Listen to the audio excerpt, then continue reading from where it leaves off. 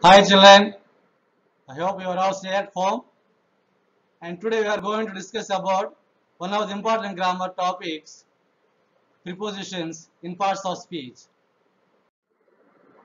So now what is a preposition? A preposition is a word placed before a noun, pronoun or gerund. It denotes the relation of the person or thing with something else.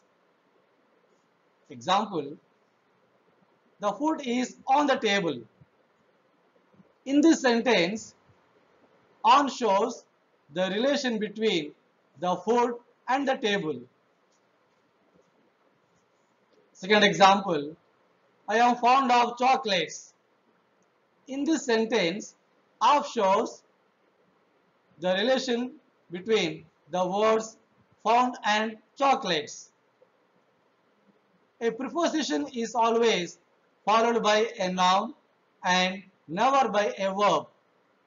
If we want a verb to follow a preposition, we must use the in form of that particular verb, which should be a gerund. Example, I am fond of riding. Now let us know the kinds of prepositions. Prepositions are of four kinds. First one, the simple prepositions, compound prepositions, phrasal or group prepositions, and participle prepositions.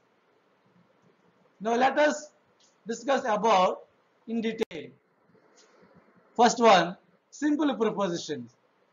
These simple prepositions include at, by, for, in, of, off, on, out, through, till, to, up, with, etc. And compound prepositions. And these compound prepositions are usually formed by prefixing a preposition to a noun, adjective or adverb. And these prepositions are about, above, across, along, amidst, among, amongst, around, before, behind, beneath, beside, between, beyond, inside, outside, underneath, within, without, etc. Next, phrasal or group prepositions. And these phrasal or group prepositions are formed by joining two or more words. And these include phrases like according to, in accordance with, in place of, agreeable to, in addition to, in reference to, along with, on behalf, in regard to, away from, in case of, in spite of, because of, in, in comparison to, instead of, by dint of, in compliance with, in the event of, by means of, in consequence of, on account of, by reason of, in course of, owing to, by virtue of, in favor of, with a view to, by way of, in front of, with an eye to, conformable to, in lieu of, with reference to, for the sake of, in order to, with regard to, etc. And third and fourth kind, participle prepositions. When present participles are used without any noun or pronoun attached to them, these are called participle prepositions. And these prepositions include barring, concerning, passing, considering, during, notwithstanding, pending, regarding, respecting, touching, etc. Now let us see the classes of prepositions. To take a distinction, simple prepositions can also be divided into three classes. They are prepositions of time and date and prepositions of place, prepositions of travel and movement. And these prepositions of time and date include at, on, in, by, to, till, until, during, for, since, from, within, before, after, afterwards, then, etc. And prepositions of place include at, in, on, to, behind, etc. And prepositions of travel and movement include from, to, by, on, in, into, at, out, out of, of, etc. Now let us see the position of prepositions. Prepositions normally precede nouns or pronouns. However, in certain cases, it is possible to move the preposition to the end of the sentence. When object of the prepositions is an interrogative pronoun like what, who, whom, which, where, etc., the preposition can take the end or the beginning of a sentence. Example, what are you thinking of? To whom were you talking? And when the object of the preposition is the relative pronoun that, the preposition takes the end position. Example, this is the dish that she is found of.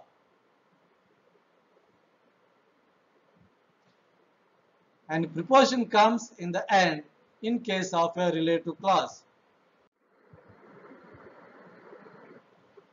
When the object of the preposition is infinitive, to plus verb, the preposition is placed after the infinitive. Example, it is a beautiful house to live in. And in some sentences where the relative pronoun is hidden, the preposition takes the end position. Example, this is the girl that I that I told you of. In some sentences, preposition is attached to the verb. Example, I hate being laughed at.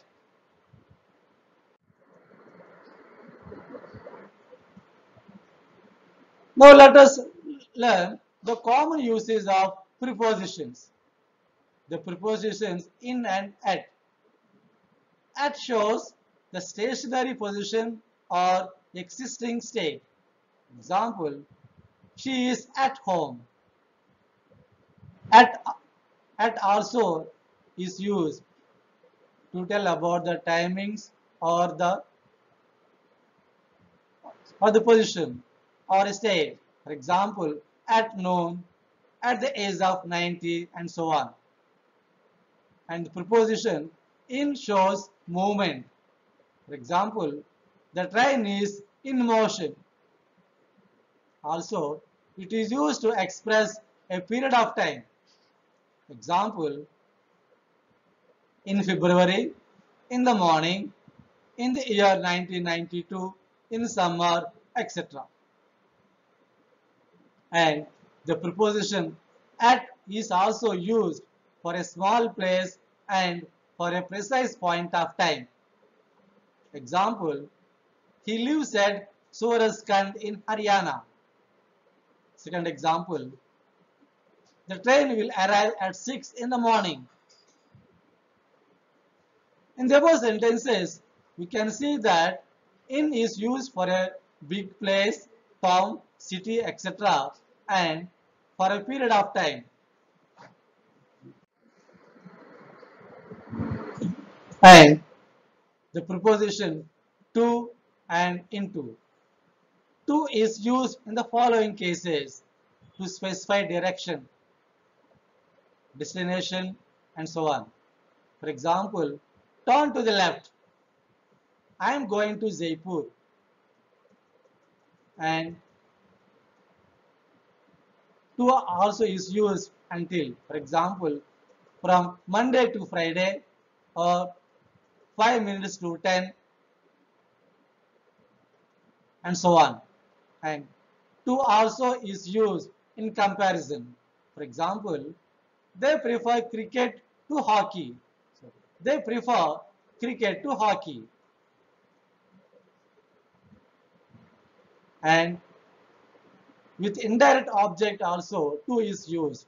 For example, please give it to me. And to also is used as part of the infinitive. For example, I want to help you. And to also is used in order to. Example, we went to the store to buy soap. And the preposition into is used in the following cases. For example, we stepped into the room. Or into also is used change in condition. The boy changed into a man. And into also is used to denote movement. Example, he jumped into the well. And next prepositions beside and besides. The meaning of beside is by the side of. Example, he was sitting beside Sarla. We camped beside a lake. Next preposition besides. The meaning of besides is in addition to or as well as. Example, he has a car besides a motorcycle. Another example, besides doing the cooking, I help him.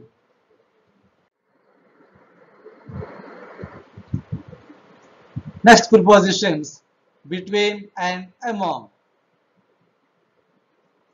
Between is used for two things or persons, but it can also be used for more than two when we have a definite number in mind and there is a close relation or association within them. Example, he distributed his property between his two sons. Another example, a treaty was signed between the three parties. Among is usually used for more than two persons or things when you have no definite number in mind. Example, he was happy to be among his friends again. Another example, he distributed his property among the poor. And the prepositions with and by. With is used for instruments and by is used for agents. Example, the snake was killed by him with a stick.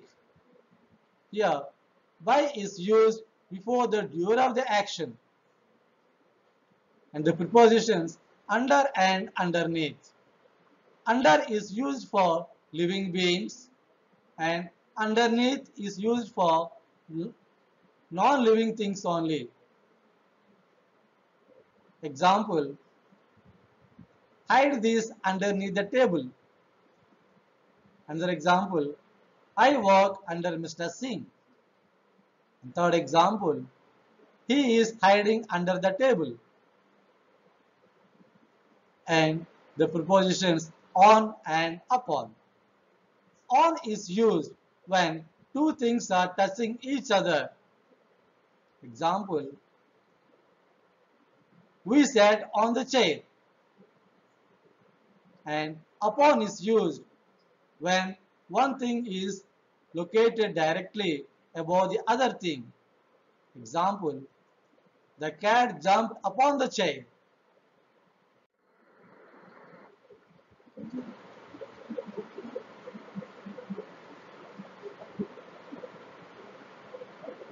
Now, the prepositions of and off.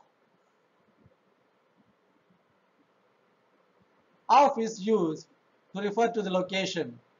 For example, east of here, the middle of the road, and so on. And of also is used to express a, a position. For example, if a friend of mine, the sound of music, etc. And of also is used as part of group.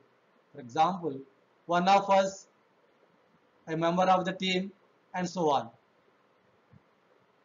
The preposition of also is used in measurement. For example, a cup of milk, 2 meters of snow, etc. And of is used in refer to not on, away, or from or or removal. Example, please keep off the glass. And off also is used to refer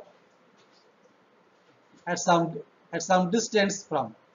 For example, there are islands off the coast. And the prepositions during or for. The preposition during is used with a known period of time, that is, the periods known by name, such as Christmas, Diwali, or periods which have already been defined. Example, during the Middle Ages, during the winter, etc. And the preposition for may be used to denote purpose and may also be used before known periods. For example, I went there for the summer. They went to the club for partying. Here, the preposition during has two meanings. First one, throughout the duration and in course of. And next preposition, since or from. Since is used to denote a point in time and never for a period of time. Example, it has been raining since, since 6 o'clock. Since can also be used as an adverb. Example, he left school in 1983. I haven't seen him since. And we use from when we measure time in seconds, minutes, hours, days, months, years, etc. And we also use since with a specific date or time. And from is normally used with to or till or until. Example, most people work from 8 to 6. From can also be used to denote place. For example, he is from Mumbai.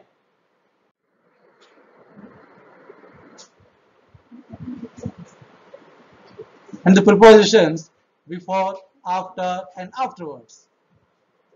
Before is used in reference to two events.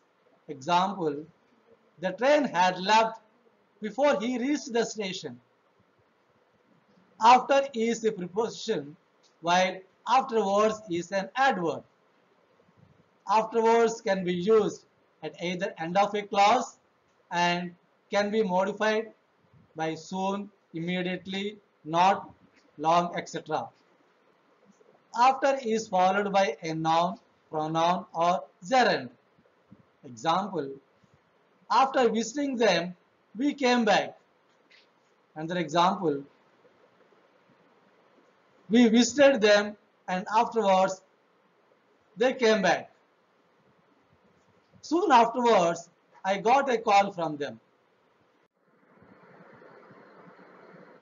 And next prepositions on, out, out of. On is used for a place of work and, and also for a mode of travel.